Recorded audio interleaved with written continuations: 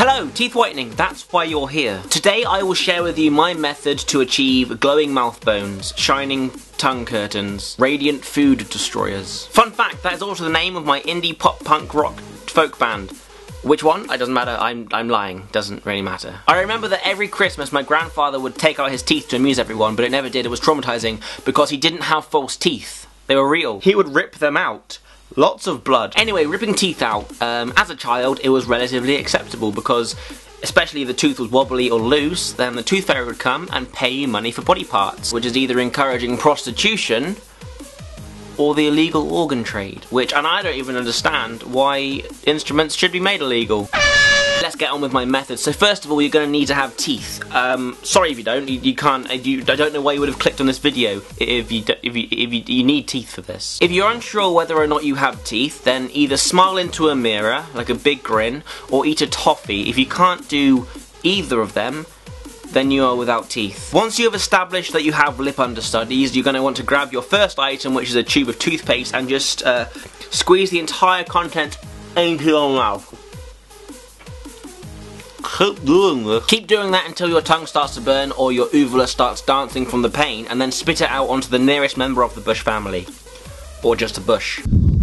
Alright, so if you're still watching and you still think you're going to get actual advice from this video, you've got to do two things, one of which is to like this video and then subscribe if you aren't already, as well as buying this just medicine that stops you from dying. Then you're going to want to grab your nearest whiteout or twink or Tipp-Ex or liquid paper or whatever it is you call it in your country and just gradually apply it to your top row of teeth.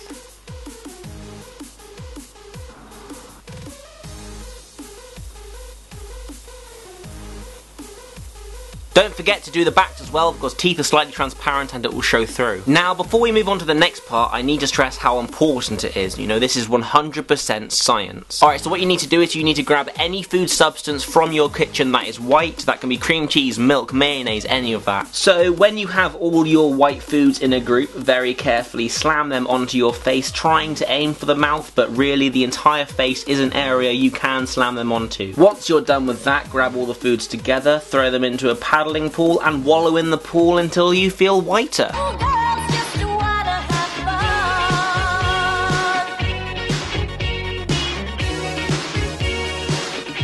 I'm not talking about ethnically or privilege, but about teeth. Your teeth will now be sparkling white. Anyway, so disclaimers usually go at the beginning of a video, but this one is at the end. This may not produce the results seen in the thumbnail. This method is untested and, well, it was before today, and I'm gonna be honest with you, I don't think it did very well. I really regret putting that liquid paper on my teeth, it's not coming off.